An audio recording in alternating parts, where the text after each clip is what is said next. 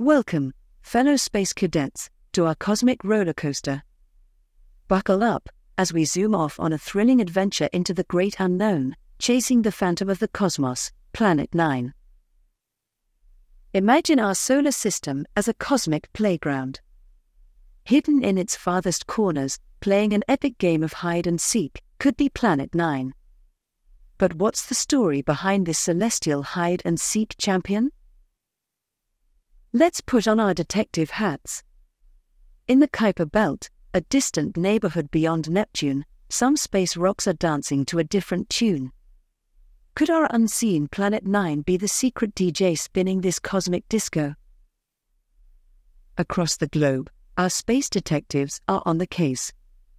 With their super telescopes and brain busting calculations, they're hot on the trail. But Planet 9 is a master of cosmic camouflage. Will our detectives crack the case? Unmasking Planet 9 isn't just about winning the cosmic game of hide and seek. It could flip the script of our solar system, unlocking secrets of how planets are born and grow up. It's like finding a missing piece in the cosmic jigsaw puzzle. As we rocket through the cosmos, one question echoes in the void Will we ever find Planet 9? Only the sands of cosmic time hold the answer.